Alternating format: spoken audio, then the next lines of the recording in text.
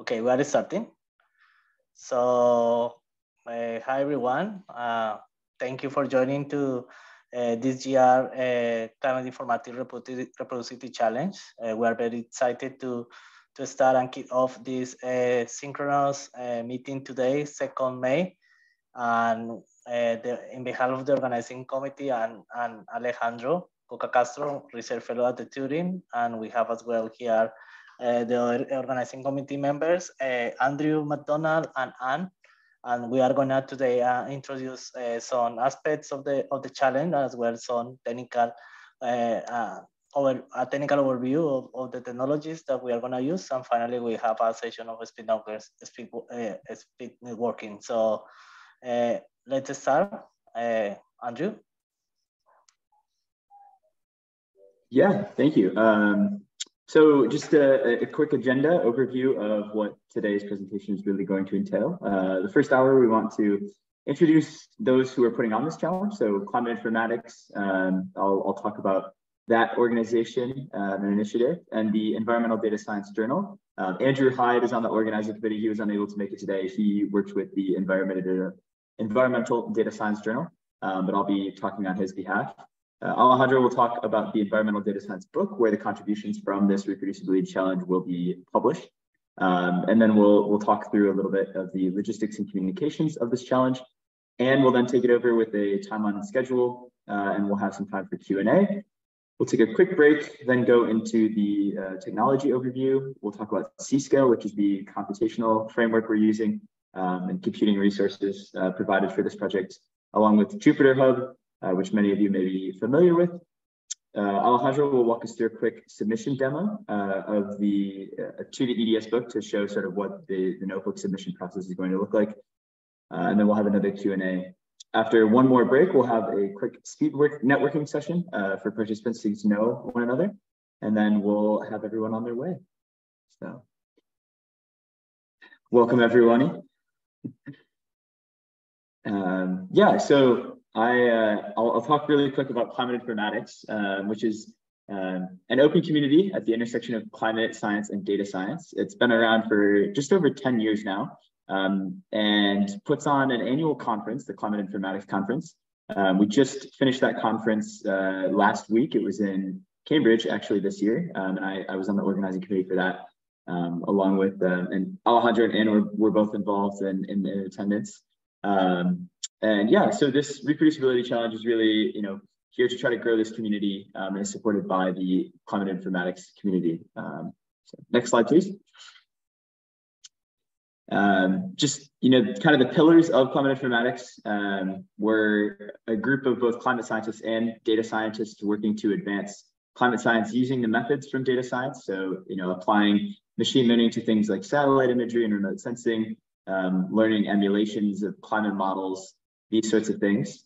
Um, we're a very community focused organization. We have a, a, very active Twitter page and a Google group mailing list uh, where you can submit um, opportunities of interest, papers, that sort of thing. Um, and we try to help promote collaborations among uh, folks with similar interests. Next slide, please. Uh, the climate informatics community was founded, as I mentioned, about 10 years ago by Claire Monteleoni uh, and Gavin Schmidt. Claire uh, is at the University of Colorado Boulder, and I believe right now on uh, sabbatical at, in France, in Paris. Uh, and Gavin Schmidt is with NASA. Uh, and today it's led by uh, the steering committee on the right there of Claire, Jakob, uh, Aniko, and Anastasia. and we're actually looking for a location for next year's conference. So if anyone has a potential connection for that, do reach out and let us know. Next slide, please. The conference has been hosted all over the place in the past. Uh, so it began in uh, 2011 in New York, then was in Boulder for a series of years, um, hosted by the University of Colorado Boulder uh, and NOAA there. Was then in Paris, uh, Oxford during COVID. Um, last year's conference was in Asheville, uh, and Douglas Rao, who's with the North Carolina Institute for Climate Science, um, helped uh, co-organize that in Asheville. and then this year, as I mentioned, it was in Cambridge. Next year could be anywhere. Uh, again, reach out if you have any ideas. Next slide, please. Uh, and this was our, our picture from last uh, week at our conference. So I think we had just over 100 attendees.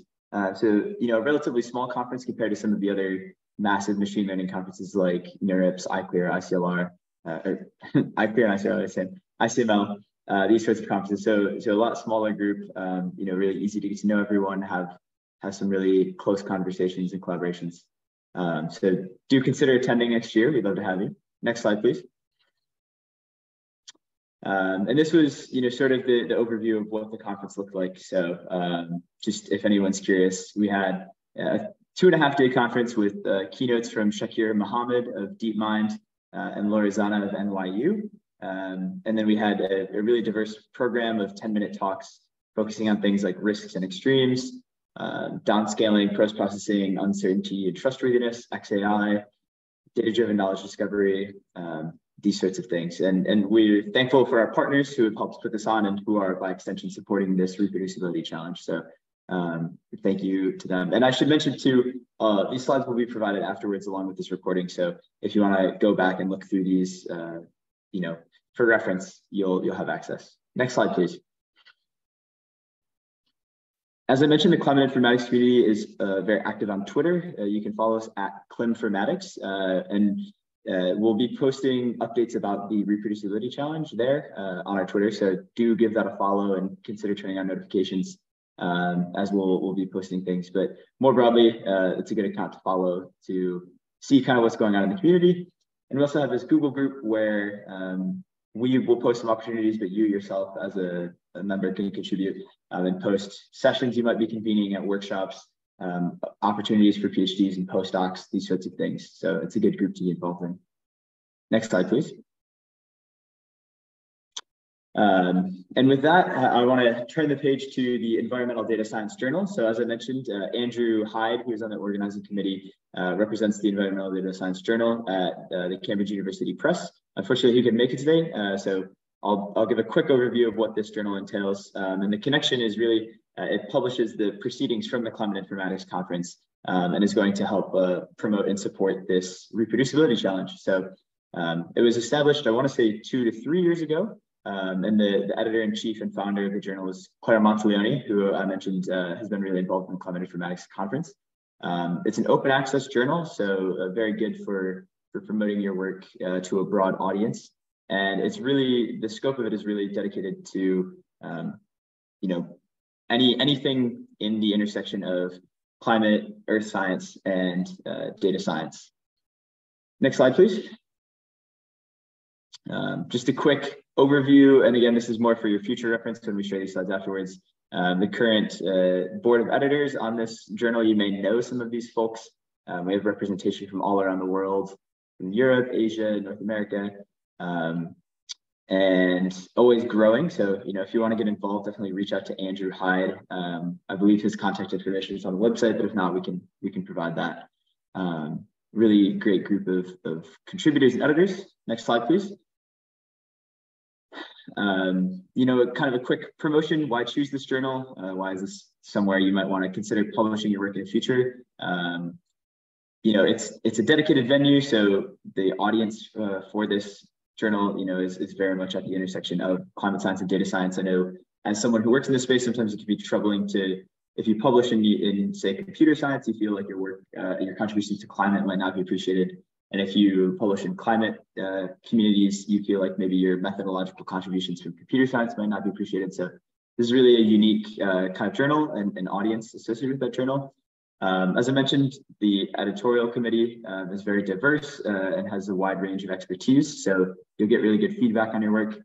It's open access, uh, and so it's it's a great place to promote your work, especially if you're hoping to share uh, and engage publicly and do science communication. Um, you know, your, your articles are not going to be locked behind a paywall. Um, a big focus of this journal and hence the existence of this reproducibility challenge is to facilitate open science uh, through open data, open materials, uh, open source code. And so uh, we provide a lot of uh, help on the editorial side to promote uh, and store your uh, data, code, those sorts of things so that others can access it. Um, you know, and really it's, it's tied in, close quarters with this climate informatics community. So it's a really, it's more than just a journal. We're hoping to build a community around it. Um, so Andrew would have would have given a better pitch because he's the expert here, uh, but I'll, I'll sub in today. so next slide, please. Um, as I mentioned, this journal also publishes a special issue each year, uh, publishing the proceedings from the Climate Informatics Conference. So you can, you know, if you choose to submit to Climate Informatics, next uh, conference will be in 2024 with a submission deadline around January 2024. Um, the, the papers from that conference are published in a special issue of proceedings that go into environmental data science, but you can also um, publish just in a standard kind of submit anytime rolling review uh, manner with the environmental data science journal. So if you have a work that maybe is ready before a conference deadline that you want to put in, you can submit anytime. Um, we're still working on, on finalizing the proceedings for the 2023 uh, Climate Informatics Conference, but those will be out sometime later this summer. Uh, at the moment, the Climate Informatics 2022 proceedings, though, are live on the Environmental Data Science website. Next slide, please. Uh, the Environmental Data Science Journal has a Twitter account uh, at Env Data Science, and so go ahead and give them a follow. They um, they promote a lot of um, you know the papers that they publish, but also content from authors and others in this space. So um, definitely worth giving them a follow. Next slide, please. And I think this is you, Alejandro. Yes, uh, thank you, Andrew, and hi everyone who is online as part of this uh, virtual meeting. And now I'm going to explain the environmental data science book. That is one of the means that you are going to be exploring in, in this challenge. And you are going to publishing uh, notebooks that are going to be reproducible. And uh, you have a DOI target notebooks that people then can make citation of your work. But let me explain what environmental data science book is in, in a broad term. So we describe EDS book as a living, free, and open online resource to showcase and support the publication of data, research, and open source tool for collaborative, reproducible, and transparent environmental data science. And somehow we are aiming to achieve this kind of uh, like uh, kind of uh, like description through having people working in different environmental systems, and these people are working with open source tools that uh, those tools are scalable and people can share the, their outcomes through uh, these Jupyter notebooks. In our case, we have all of them indexed in the Jupyter book. That is maybe later when we have the demo, I will go in detail what is a Jupyter book. But at the end, we have the general audience of people, target audience of the notebook that they can start new ideas. So that's in general terms what EDS book is. Our mission is to educate and leverage good scientific software and data management practices among environmental scientists through peer-reviewed, findable, accessible, interoperable, and reusable, fair, executable notebooks.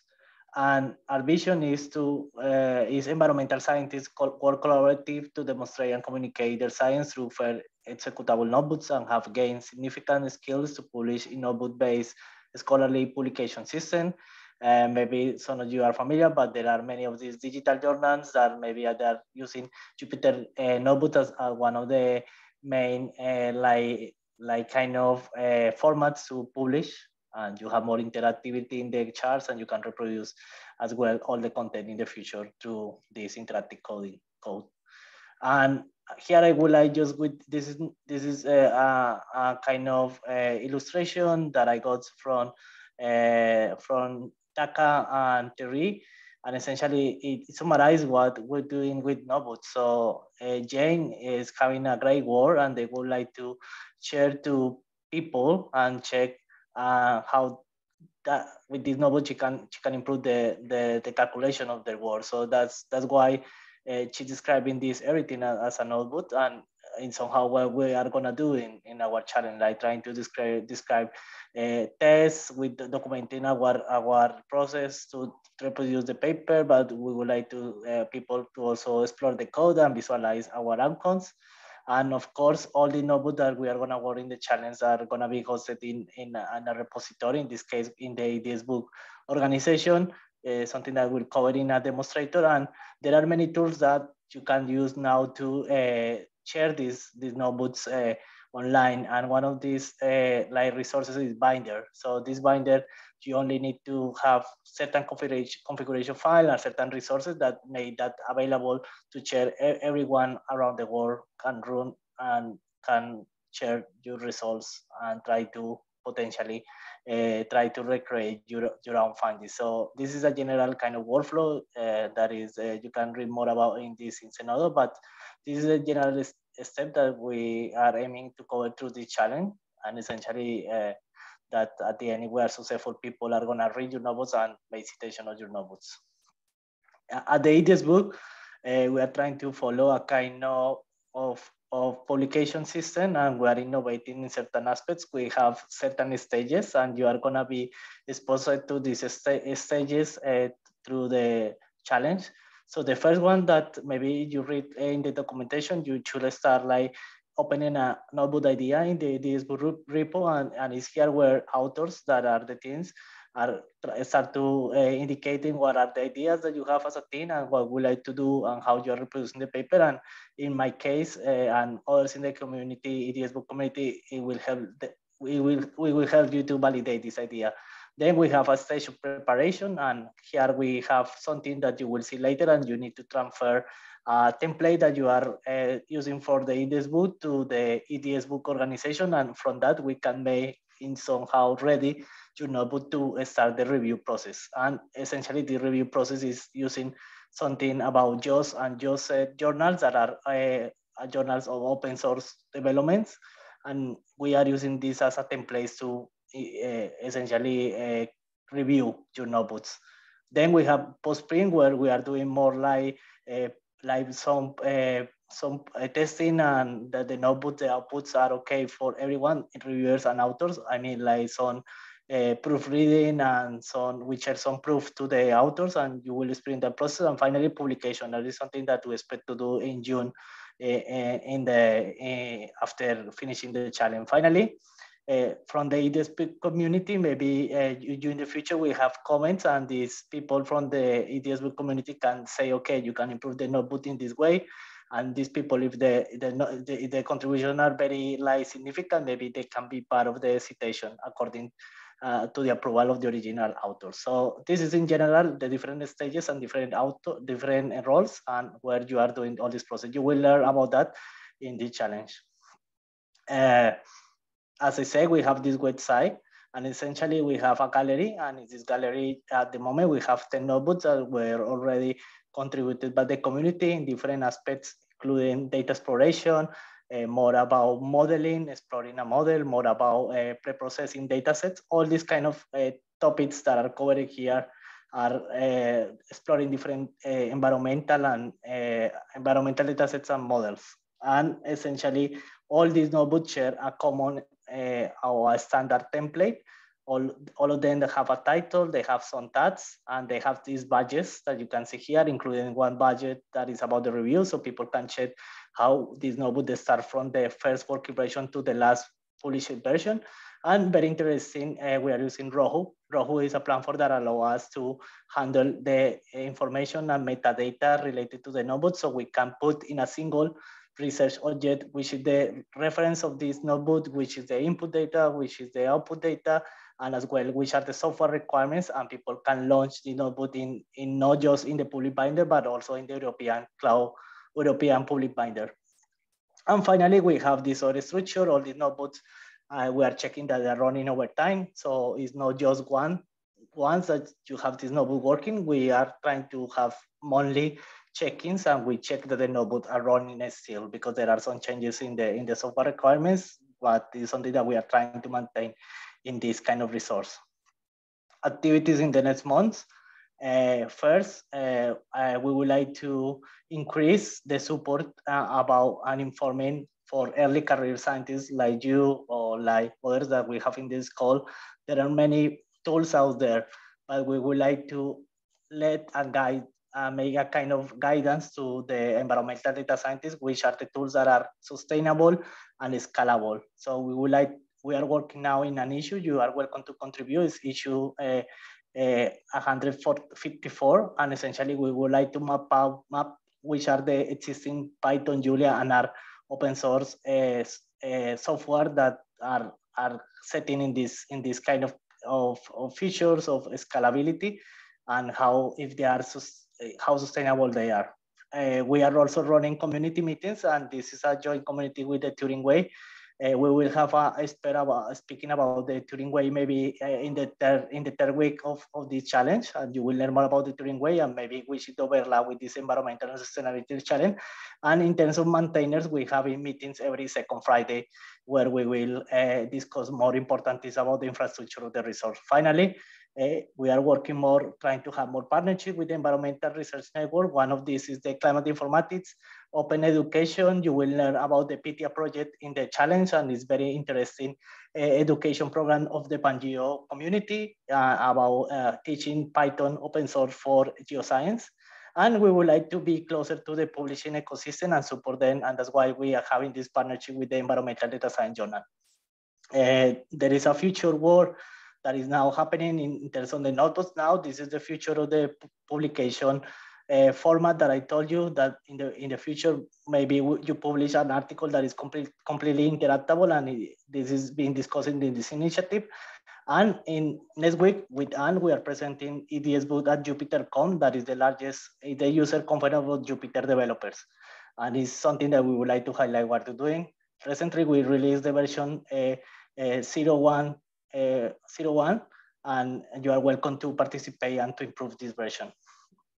So in, a big thank you to the community that uh, is helping EDS Book. It includes Pangeo, Project Pythia, Jupyter, Turing Way, uh, Open Life Science. So far the community, we have some reviewers and authors. We have uh, some working session and this resource is being used uh, mainly and read it in the US and UK, but we have all visitors from other parts of Europe and, and, and Asia and, and, and South America as well. Uh, you are welcome to follow the resource, similar like climate informatics, uh, everyone is welcome to, to follow the EDS book account and also if you don't like Twitter, uh, you have Mastodon, we have Mastodon account, you visit our website, we have all our input and, and output like kind of mirror data sets and data in, in a and we have a community there. You can visit and follow us there. And the resource, I uh, welcome everyone to, to start the resource and try to follow the updates through this start in the Alan Turing Institute. You can find the resource there. Okay, uh, that's everything about the EDS book. Uh, maybe uh, now we're transitioning to something about the logistics and communications. Uh, so far, everyone agree uh, in the form to, to follow the code of conduct and it's very important that you understand about uh, this. So we would like people to be in a healthy and safe environment and it's very important. And everything we are trying to enforce your data protection. So where possible in the public online documents, don't share any personal data set because this is, are gonna be public documents. Uh, main communication channels. So not right now, uh, these virtual meetings and also chat with the experts, everything is gonna be in Zoom as well the clinics. Uh, we have three channels that you can interact. The first one is the general one, that is uh, one uh, where we are making an announcement and we are uh, having general questions you we already create one pri private channel for each of the teams where you already have information about your paper in the bookmark and as well a document where you can plan a discussion internally with your group. And we have one that is more for support and you can share the screenshots of problem that you have that is Repro Challenge Help. Uh, as Andrew say, uh, the, the official uh, account that is promoting all the activities is the Climate Informatics Twitter account and EDS book and other accounts will be retweeting these activities, but the main one that you need to follow is climate informatics. And uh, this is about the notes. These are the public documents, online documents where uh, I will share later where we you can have the, we can register certain uh, questions and answers in, the, in this public board. And you as well have in each of the private channel, you have access to these notes where you can make more general and more structured uh, discussion with your teams. And now uh, is Anne. Yes, so I will uh, uh, guide you through the timeline first, and uh, you have done the first step, which is uh, registration, and uh, we have announced the team, and you all got information via emails on the teams and the team members. And the most important now is we are starting the reproducible challenge, um, so one important date to remember, uh, the challenge will end uh, end of May.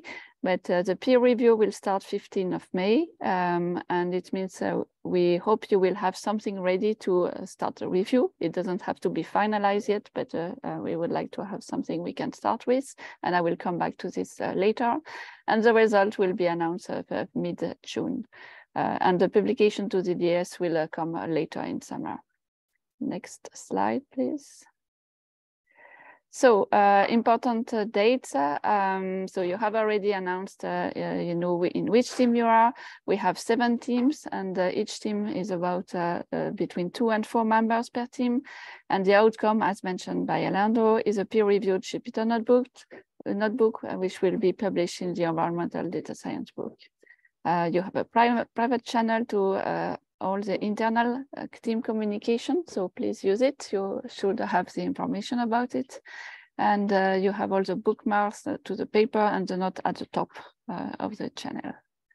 Next slide, please. So what do we want to achieve? We want to achieve reproducible. Uh, so you want to reproduce a paper. What does it mean? Uh, it means we would like to have the same analysis that is done in the paper uh, using the same data, and we would like to have the same results. Um, uh, so this is uh, this here uh, box here. Uh, what we would like also uh, to have possibly is uh, something that is generalizable. So it means the Jupyter notebook could be reused later on for different research. But um, this is a, a, main goal, and uh, uh, of course, uh, um, maybe we will have something which is more replic replicable and reproducible depending on the size of the data. So as uh, Alejandro mentioned, we may need to stream down the data because when we publish the Jupyter notebook in the environmental data science book, we want to have it relatively small, a small amount of data to be able to use a public binder. Um, I think we can move to the next slide, except if I forget something. Yeah, okay. So the teamwork, uh, so the first uh, working session, uh, working version of the Jupyter notebook you will produce, we would like to have it on the 11th of May. And this is mostly to be able to guide you and to provide feedback and improvement. So it doesn't have to be the fully uh, reproducible uh, paper, uh, but it, it it is uh, at least a, a draft uh, which is well advanced of uh, all the different functionalities of the final Jupyter notebook. And this is really like the baseline for discussion and for the peer review that will start of uh, mid-May. Um, then we have on the uh, end of May, 26th of May, a catch-up presentation. So this is really very uh, informal presentation where uh, you can present what you have done and we will also uh, provide some uh, feedback on how to present. So we will get a lot more information on the presentation later on in the challenge. Um, and uh, the final presentation will be on the 29th of May. And the final submission should be on the 31st of May, anytime on Earth. Anything I forgot, Alejandro, this? Yeah, no. Okay, so now um, something very useful for you during the entire uh, reproducible challenge. We will have uh, mini talks from uh, experts and we will start in week one with uh, Sebastian and he will talk about the open infrastructure. So he's working at the EGI Foundation, which is the European Grid Infrastructure. And we'll, it will talk more about uh, um, like the European Open Science Cloud, but cloud in general, and how we can leverage cloud computing and storage for uh, open and reproducible science. And week two, we'll have a series of uh, programming languages uh, talks. Uh, so with R, with Cesar, Python with Brian, and Julia with Raphael. So all these uh, talks will be recorded. And then in week three, we have the reproducible and collaborative research, and we have two talks. We don't know exactly who will uh, give the talk, but it will be on reproducible publication, which is very close to what uh, you want to achieve with a Jupyter notebook, and collaborative data science by the Turing way. And finally, on the last week, uh, you will have more information, uh, talk on uh, open access journal, uh, given by Cambridge University Press and Assessment. So all the talks are recorded uh, and uh, the format is what we have on the right hand side. Usually it's about 10 minute slides, a, a, demo which can take up to 20 minutes and then some questions. I think we can go to the next slide. So we'll have different um, uh, events. We have the speed networking events, and uh, the first one will start today uh, after this call.